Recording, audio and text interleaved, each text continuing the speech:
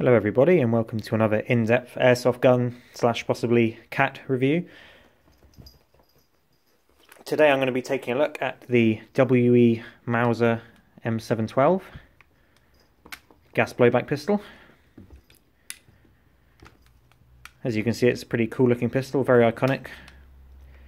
Uh, this isn't a C96 as a lot of people will immediately think. It is indeed the later uh, Schnellfeuer or something like that full and semi-automatic pistol, the M712.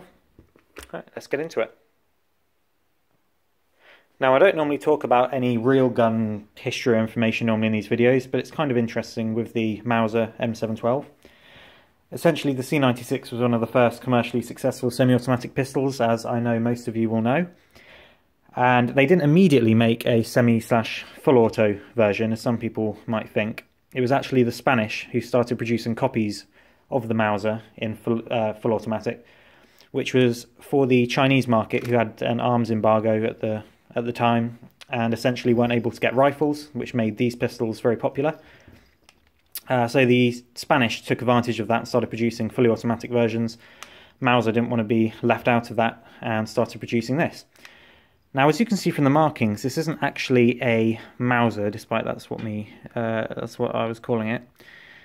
It's got these I guess um, traditional Chinese markings. I don't know. I'm, I do not know uh, my Mandarin slash Chinese, but what I assume this is is it's meant to be a perhaps Taiwanese production of these. I think someone I read somewhere that the that Taiwan made some of these. I haven't really looked into it much, but it's kind of a shame that it has these markings. I'd almost rather it be completely plain so that you could add your own Mauser markings because I'd rather that.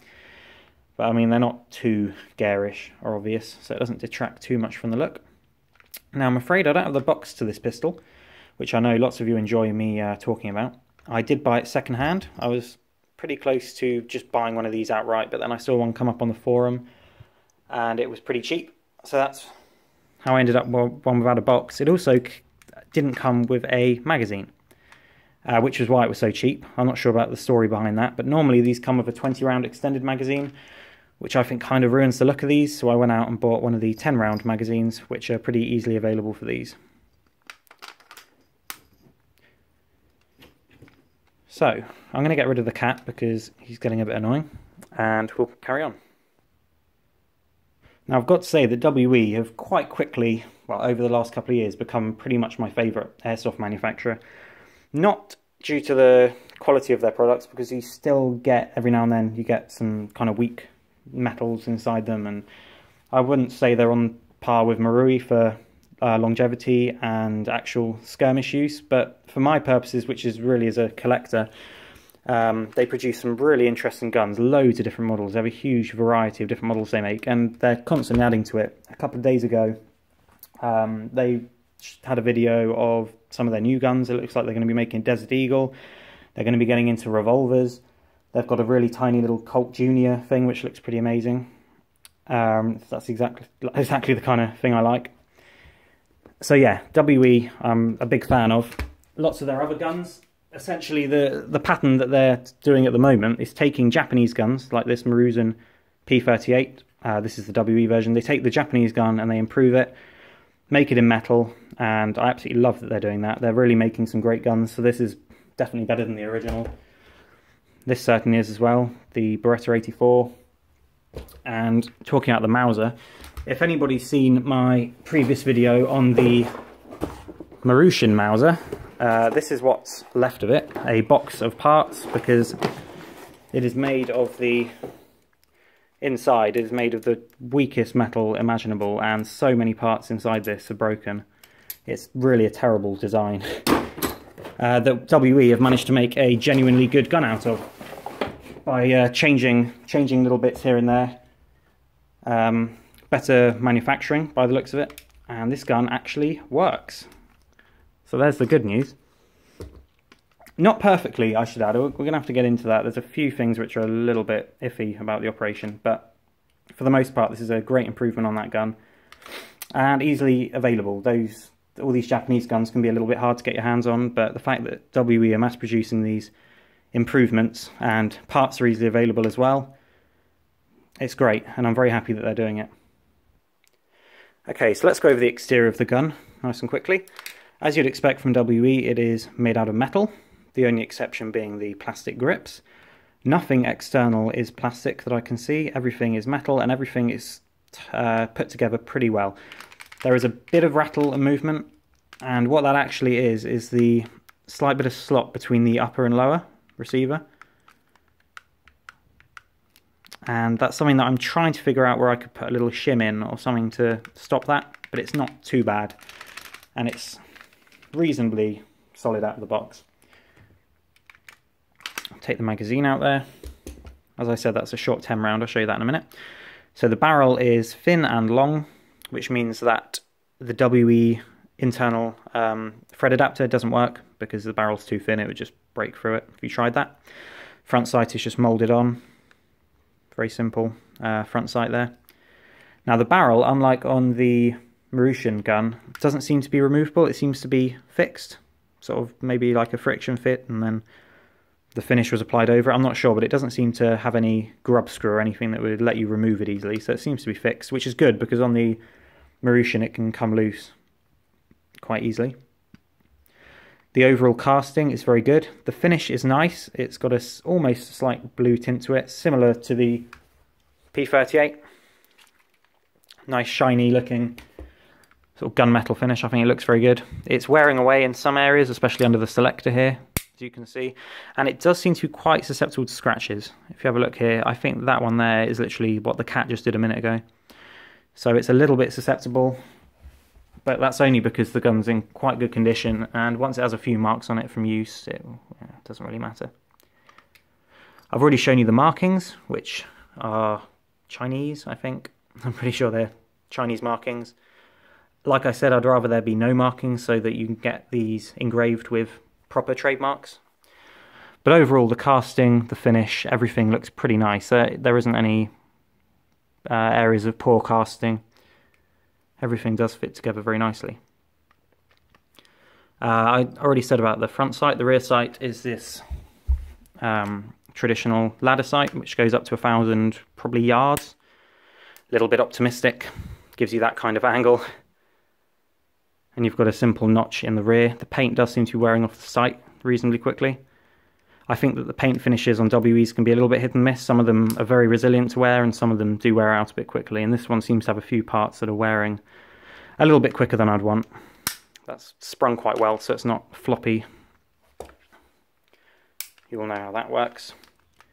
I find that it's best to keep it on the 150 meter setting just because otherwise it doesn't quite clear the front here and you get a little bit of that in your sight picture. Show you the sight picture here.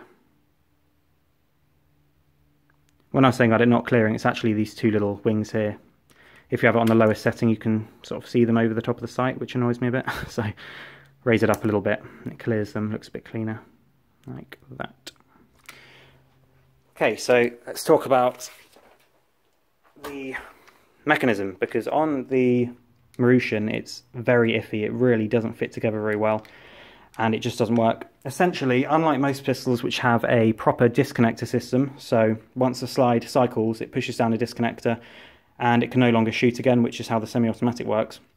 This doesn't have that, and they copied that over from the Marushin. What it essentially has is a trigger that is set up so that it'll release the hammer, and then that click that you're hearing, and you can actually see a little part moving here, it essentially releases the sear, and then as soon as you get to that point, it slips and allows the sear to catch the hammer again. This is a system that has to be set up very well because if you've got too much space between the release and then the sear resetting, you end up with full auto, and you, if you squeeze the trigger very slowly, you'll get full auto. On the Marushin, it really didn't work. It was pretty much full auto most of the time. Now this is kind of the other way around. Semi-automatic is very reliable. It works absolutely perfectly. I've got one of these uh, little follower stops in the magazine, and I've just got some 01 Pro gas, but you could pretty much put any gas you like in this.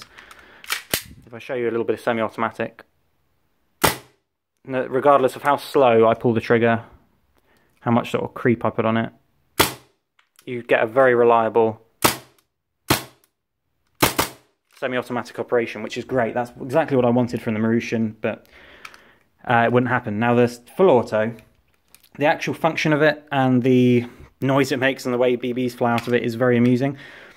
But I've found that the, there's something not quite right in the tolerancing, so that if you pull the trigger slowly, now the trigger is fully rearward, and the hammer hasn't released, and that's quite dangerous because a little bit of pressure and it'll suddenly drop. This has only happened a few times, but actually the first time I pulled it out of the packaging, loaded it up, and went to shoot it, that's exactly what happened. I had quite a few BBs in it. I pulled the trigger. Now I did release there with a little bit of a delay. I was pulling the trigger. Let's see if I can get it to do it. Right, seems to be doing it now, but anyway, I pulled the trigger, nothing happened. Let go of the trigger, put the gun down, and suddenly shot a couple of shots off. So, got to be careful with that. It's quite possible a little bit of polishing or something that just allows the trigger to move a little bit further back will do it. And sure enough, if you pull the trigger quite quickly, there's not an issue. But for me, I'm quite happy with semi-auto, and I actually kind of wish they just made a standard C96 that was just semi-auto because the full auto is fun, but it's uh, it's not necessary, and the selector kind of ruins the look of the gun to me. I know that sounds silly, uh, that's one of my complaints about the gun, that actually the selector is quite loose. The actual part, the actual selector that moves is alright, but the button, as you can see, it's not quite set up right, so it sticks out too far. And you can see, almost see the spring underneath. Which is why I sometimes put it into the kind of the disassembly notch, which is one click forward. It's not a proper position, but it keeps the button in and just it functions semi-auto when you do that. So that's the way I have it. It stops it flopping about. But if you have it in one of the normal positions, there is this annoying wobble. So yeah, I tend to keep it forward like that. Um, talking about the trigger and the hammer, it's a very big hammer, but the actual action and everything feels very nice and crisp. Much better than the Marushin, which doesn't feel great. This is actually a really quite satisfying trigger. Everything feels very good you know, mechanically, quite a good clunk to it. And of course, the best thing about a gun like this, compared to all of those HFC uh, non-blowback guns, is that you've got a fully working bolt. I say fully working, that's not entirely true. Uh, the gun doesn't operate in a short recoil function uh, manner. The upper receiver doesn't move. On the real one, of course, the upper receiver will move back slightly to unlock the bolt.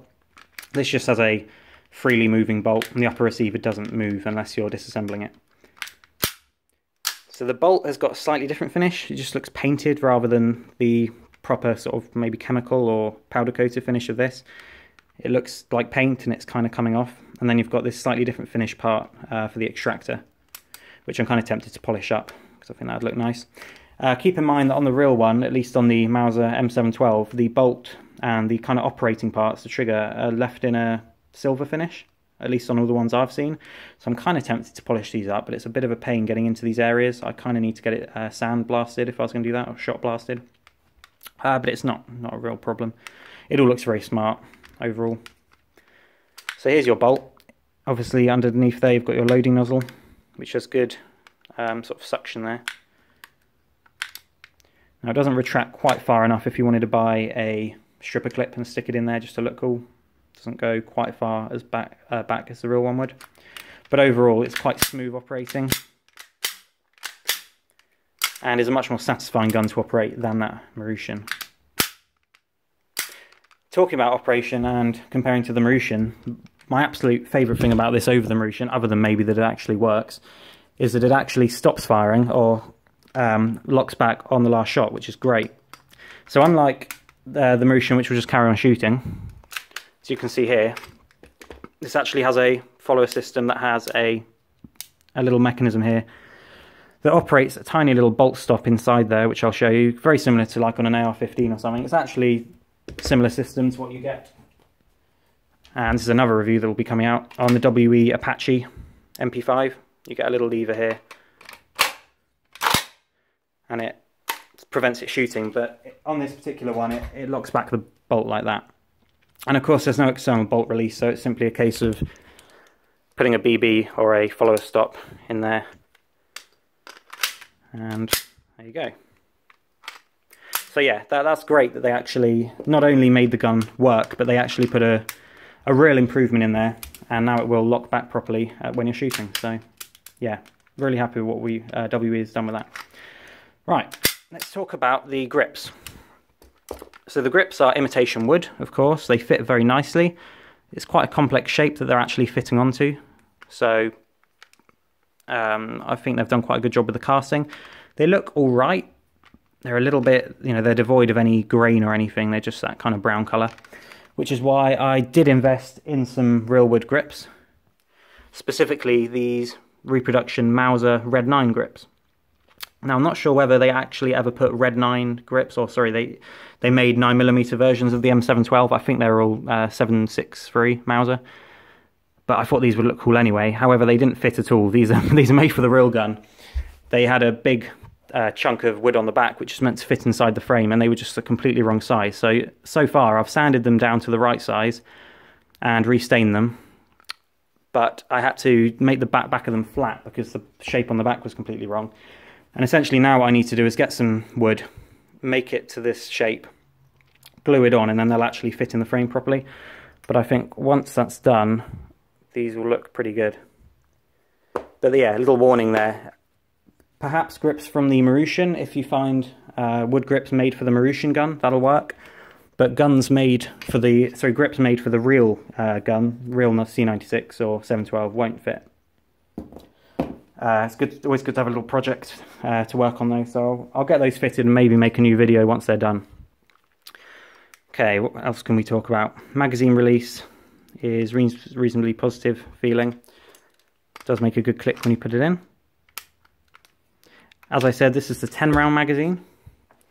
I'm not sure if all of them come with that uh, red gas router there, but this one does. I actually bought this from Zero One and it was labeled as short magazine for the Han Solo blaster or whatever they call it. WE have a company called Armourer Works or something, seems to be part of them, who take their pistols and do custom versions and such. And this this gun, they make a Han Solo DL44 blaster off, which is pretty cool. It's very expensive. But yeah, Zero One sold these magazines fitting as fitting the Han Solo gun, but of course they do fit in this. And this is a 10 round mag. Although let's verify that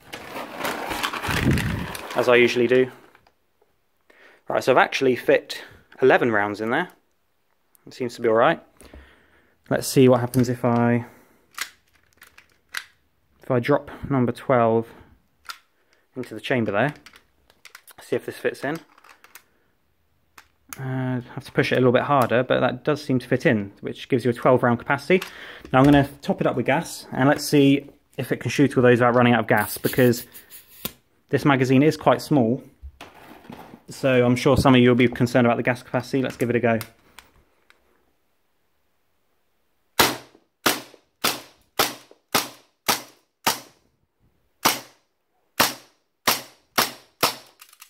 Right, so that is 12 shots, and the slide did indeed lock back. And it was reasonably powerful even on the last shot. Magazine is a little bit cold, but I reckon we could even get some uh, more BBs out of that. I'm going to reload it again. Let's see how many more we can get out. Alright, so that's another 11. I haven't topped up the gas. See if we can get any of these out.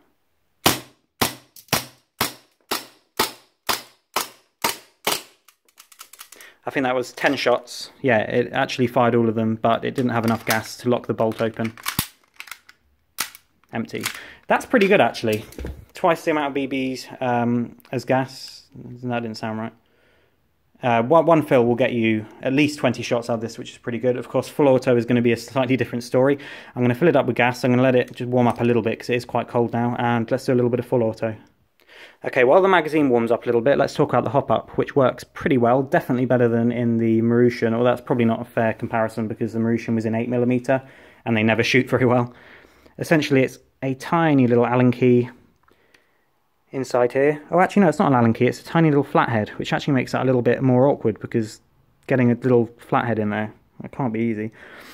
Um, I've never had to adjust it. The, the kind of ranges I'm actually able to shoot at at my house, um, I haven't had to adjust it. But certainly within the 10, 15 meters I've been shooting at, it's perfectly adequate as a skirmish uh, sidearm. Definitely on par with their P38, their other pistols. Not quite Marui. I know, I know I always say that. They're just not Um, they don't have that same magic hop up as Marui's do, but it is adjustable and you've got a reasonably long barrel, so this is actually quite a powerful pistol. No chrono, uh, no chronograph still, I know, don't have one. But it was it's definitely on par with something more conventional looking, uh, like the P38. Definitely skirmishable. If you want to buy one of these to actually use it, completely don't don't go with a Marushin. This is what you want. Now you might be thinking that I've missed quite a big chunk out of this review, which I've just remembered about. and that is of course this, which it comes with. Um, I was really excited about getting this with it because I thought that's so cool that you'd be able to use it as a carbine. Upon actually using it a few times around the house, uh, I can't really see myself using it all that much. I, I don't think I'll take it skirmishing. And it's just because the whole thing is plastic, and although it looks quite good, the wood grain looks decent, it's just a bit flimsy feeling. It, you know, you can flex the whole thing. It's quite, it's reasonably thick plastic, but it's so hollow sounding. And there's a spring in the um, attachment mechanism. I'm just going to stick it on here. So it just slots on the back like this. Luckily it's not eating away or chewing up the, um, the slot too much, as I was worried it might. Let's just put it on. Now it's quite stiff because it's actually, it, it pushes up against the grip. So that's how it gets such a good fit on here because there is hardly any movement at all actually. It's quite impressive, especially between the, the actual lower receiver. It's, it's actually very good, the fit on there. And that's the little latch that uh, keeps it on there. So yeah, they definitely get good marks for how it's actually attached, but there's a spring inside here, which you might be able to hear. And it, you hear that noise every time you do anything. Don't know where you can hear that, but every single time you do anything, you just get it resonating through the things. It's a big hollow bit of plastic. Let's do it again. You should be able to hear that. It's really annoying. And that combined with the fact that it's, it flexes around. It's nice that the gun comes with it, but I almost wish they just offered a cheaper version of the gun that didn't come with it. Uh, the length of pull is very long. The stock that comes with the M712 is actually longer than with the regular C96. This is a very long stock. And yeah, it definitely fits on securely, but it's you don't even need to press the latch to open it. That's how flexible it is. That, that, keeps the gun in there. Let's actually put it in because I know some people might might still want to use this as a holster. Of course, it only fits if you've got a no magazine or the short magazine in it. The long one does not fit. Goes in like that. A lot of movement. Luckily, this big spring up here keeps it secure and it holds it in there pretty well. But like I said, it can open without pressing that button because of the flex, so I wouldn't personally trust having this on my hip with the pistol in. It's a nice novelty, it's a cool thing to show people, but I would never actually take this air softening with me. And from what I've seen, the hardware on this for attaching is completely different to the real one, so don't go spending loads of money on a real steel Mauser stock because I don't believe that they fit this. I'm not entirely sure, but I'm pretty sure I saw an image that showed the real one has a much wider slot, so beware of that. Okay, so I've got 11 rounds in the magazine. I've got it gassed up. Let's see how it does a full auto mag dump. I'm just going to hold the trigger down. Let's see what happens. Now that is actually pretty impressive. Considering the gas capacity in this, um, I was kind of expecting that to run out sooner, but it locked back after 11 rounds. It's very cold, so I don't think shooting any more will um, be worth it because I don't think it'll last for much longer. But that is pretty impressive, and it actually um, should bode pretty well for those longer 20 round magazines, which of course got double the magazine capacity um, of gas, at least. So if you want to skirmish, grab a couple of the larger magazines. I think this is really quite a usable pistol, and like I said, compared to my other guns, it's got to be at least putting out 300 FPS. It's got quite a long barrel on it. Most of the gas is being used to push the BB out rather than the slide. Now the last thing I want to talk about before we finish up is this assembly, which is actually much better than with the Marushin. It's much more realistic and it's a lot easier. Very simple. So you cock the hammer. You've got a little switch here which you push up. The upper receiver and the trigger assembly then come out. You're left with the metal frame. You've got the trigger mechanism in there. or really just the trigger. Most of the mechanism is here. Now this is all quite delicate. It can pop out quite easily, so be careful with that. And then this, what essentially happens here is once the bolt has been cocked,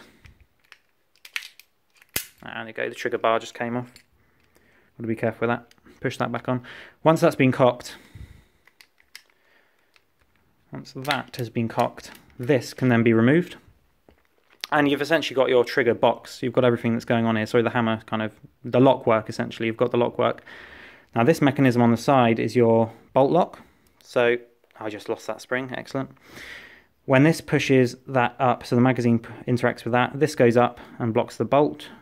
That is your, not, not disconnector, but that's the little thing that holds the um, the striker forward to get all the gas out.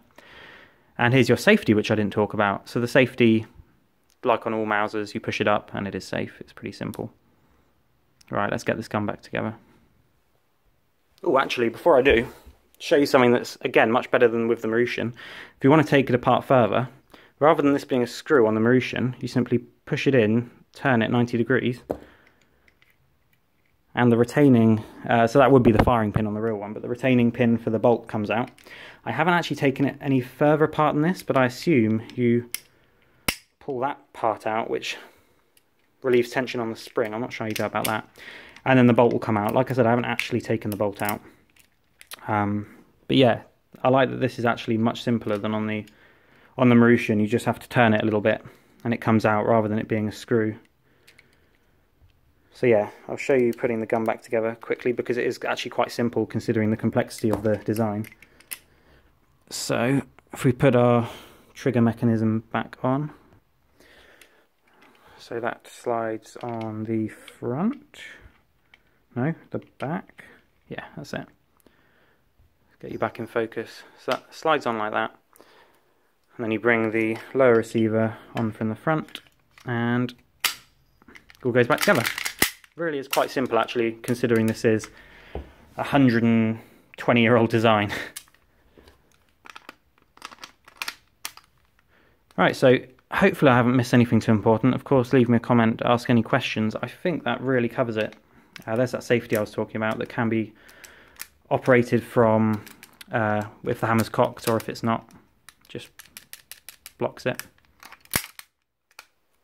I like that when you put it on, um, when the hammer isn't cocked, it'll move it a little bit away from the firing pin, which is quite a nice little touch. Oh, another feature. Uh, it's one of those ones where simply pulling the hammer and shooting it won't do anything. I always like that. That's realistic. The slide actually has to be racked for the firing pin to become sort of available for being smacked. If, if you watch down in here, as I retract the bolt, there you go. When we get to halfway through travel, it actually pops out the firing pin, which allows the hammer to hit it. So yeah, very realistic really in its operation.